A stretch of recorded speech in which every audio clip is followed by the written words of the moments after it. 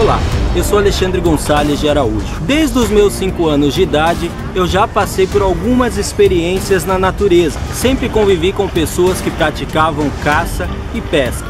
E com isso, eu tive que passar por alguns desafios. Já dormi sozinho no meio do mato, já lidei com diversos animais selvagens. O mais engraçado foi quando eu puxei um jacaré vivo para dentro do barco, mas isso eu conto pessoalmente. Me considero bastante inteligente e corajoso, já saltei de bug jump, mergulhei de ponte, tenho uma capacidade muito grande de improvisar. Sempre que tenho problemas, eu procuro resolvê-los. Caso não, se a situação exigir, eu encontro uma outra alternativa. Sou um líder por natureza, procuro tomar a frente das situações e avaliar os riscos para ter as decisões corretas.